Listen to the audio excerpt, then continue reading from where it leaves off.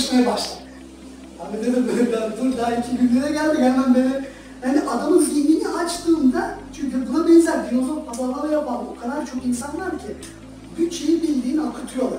Nereye yani renk hepsi adamda zaten para çok. Bir yerlere para yatırıyoruz, bir yerlerden arıyorlar falan diyor ama bir takip yok. Şimdi buradaki takipten kısıt şu.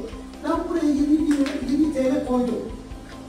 Bu reklamın 40 kişi, 40 bin kişinin gördüğünü hesaplayabiliyorum. Çünkü Tony Robbins de şunu söylüyor. Mesela e, rakamlar yalan söylemez ve ticaretinizi ne kadar ölçebiliyorsanız o kadar etkileyebilirsiniz. Şimdi ben diyorum ki ben 20 lira koydum, 40 bin lira gösterdim, 40 bin kişiye gösterdim. Burada işte 5-6 tane müşterim oldu ve bir koydum 9 aldığımı biliyorum. Bu sefer ben buraya 20 lira değil 100 lira koyacağım ve 1000 lira kazanacağım.